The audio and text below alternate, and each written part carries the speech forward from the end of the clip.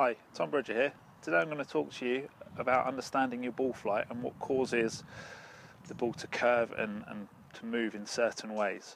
So there's five factors that, that allow the ball to, to move. There's the club face alignment, there's the swing path, there's the angle of attack coming down into the ball, there's the centeredness of strike, so how close to the sweet spot you get it, and also the, the speed of the club at impact the club face alignment impact is going to dictate where the ball actually initially starts. Okay, so depending on the type of shot you're, you're looking to hit, the club face doesn't always have to be square to the target, but the ball will start nearest to where that club face is aiming at the point of impact. The swing path, the ball will then curve away from the swing path. So if your swing path is slightly to the left, more likely curve to the right. Vice versa, if your swing path is out to the right, your ball's going to curve to the left for a right-handed golfer. The angle of attack can influence the swing path.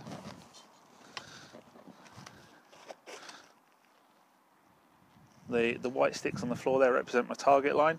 The, the hoop here represents the, the swing plane and the grip on here represents the actual club path.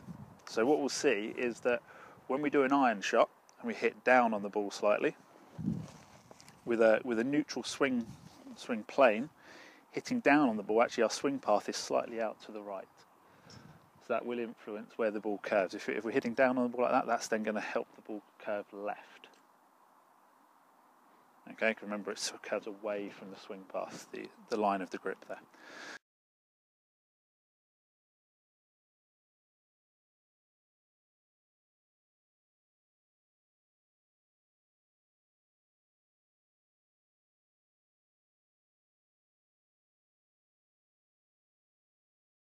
So actually to hit an iron shot straight, our swing plane needs to be slightly to the left. Therefore getting the swing path nice and square.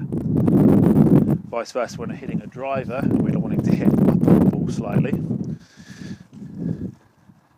With a neutral swing plane to the target there, if I hit up on the ball,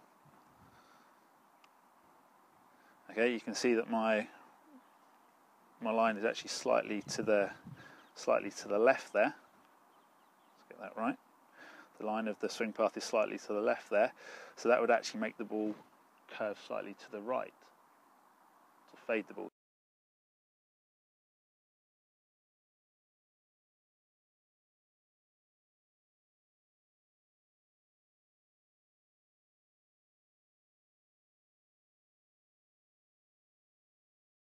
slightly. So to actually get the club online, our swing plane needs to be a little bit more in to out here to get the, the line of the path square with the line of target and then we've got a good chance of hitting the ball pretty straight if a straight shot's the desired one you want to hit.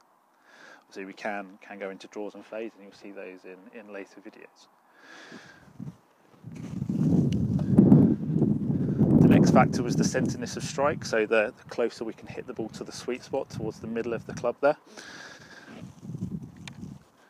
Now, what we know with this is, is uh, something happens called gear effect. If we don't hit the ball in the centre of the club face, if we hit it slightly off centre, the ball will actually try to spin towards that centre of gravity.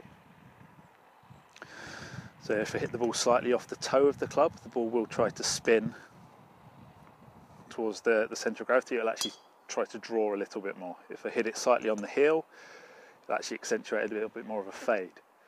Now that can override the club face alignment, the swing swing path, and the angle of attack. So it's really important to be that you, you get the ball as close to the centre of the club face as you can. That way you've got a much better chance of actually controlling what the ball does. The fifth element is the is the speed. Now the more speed you add, the more spin you're going to add, the more distance you create, the the harder it is to keep it online. So if you are going to going to add speed, you've got to make sure that you've, you've got the other four elements right. Then you've got a really good chance of getting some good distance with coupled with, with good accuracy. If you have any questions, please see my details to follow. Hope you found that helpful. Thanks very much.